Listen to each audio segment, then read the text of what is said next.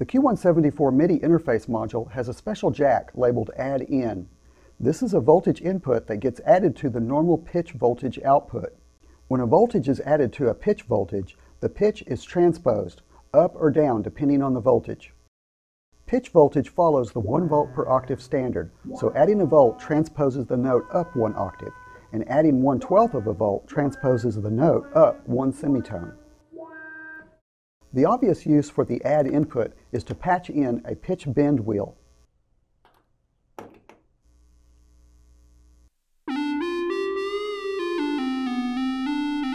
You can also transpose pitch right on the Q106 oscillator, but if there are several oscillators in the patch, you'll need a multiple and extra patch cables. The add input on the Q174 makes things easier. Another trick is to use a keyboard split, where one section transposes the other.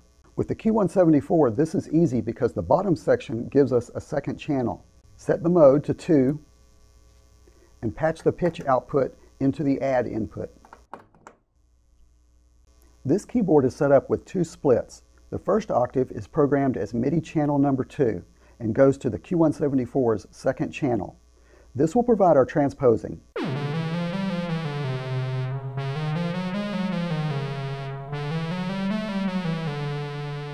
The first key is 0 volts and gives us no transposing. The second key transposes us up by one semitone, and so on. And this works great with the Q175's built-in arpeggiator.